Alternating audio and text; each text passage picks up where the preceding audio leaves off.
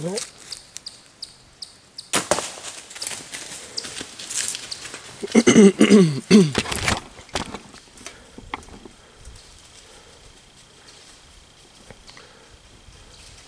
she's about to fall. She just fell. Awesome. Well, guys, if I brought the, uh, sorry, there's a glare. If I brought the right camera equipment today, uh, probably would have gotten, wouldn't have gotten that shot on, I would have gotten that shot on film. but, uh, I, uh, had to go ahead and use my broken one because I left my, uh, left my other one in the stand the last time I brought my decoys and, uh, just completely forgot about it, so. I just got a doe down now. Um, I don't know if you guys could see her. She ran off. I shot her uh, at 25 yards. She ran off about I don't know, maybe 30 yards and just, you know, did this, you know, stutter, stumble kind of thing. And uh, fell. So I'm to go actually tag her real quick and uh, hop up back in the stand and hopefully Buck will come by today too. And, you know, so, but uh, in Pennsylvania you have to tag them first, so that's what I'm to go do. Stay tuned. I'll show you guys the blood trail. Alright, so I'm just walking up on the air now complete pass through. See the uh, Rage Hypodermics performed yet again. I'll leave that there. Actually, put up my quiver and uh, get on the blood trail real quick.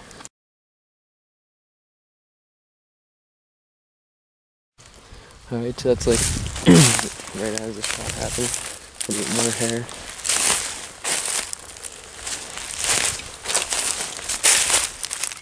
A little bit higher than one hit, I believe. That's them. Yeah. just started stumbling.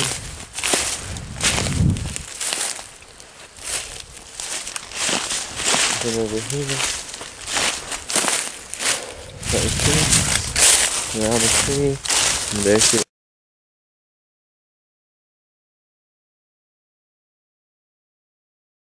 When you're shooting at a deer, I've been always told, you know, to aim for where you want the arrow to come out at. And that's exactly what I did. So it looks a little bit, flip it over.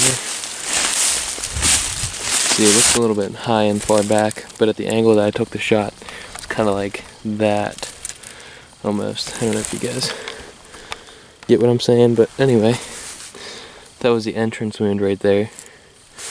And I believe it's, yeah, down a little further, the uh, skin's kind of pulling back a little bit. But anyway,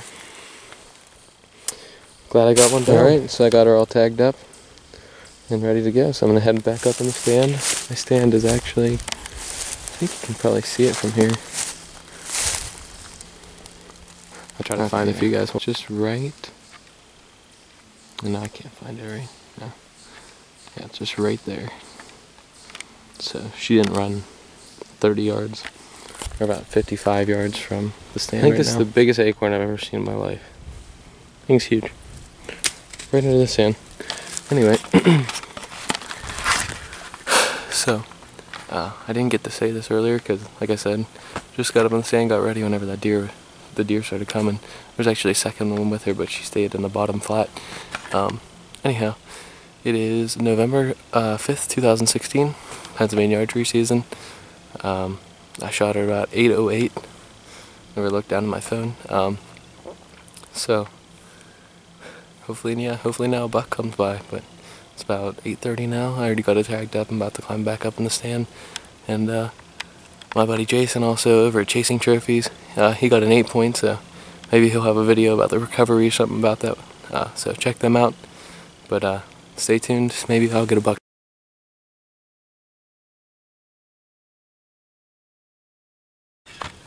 Soon as this thing, I've never been more happy in my entire life. I'm not even joking.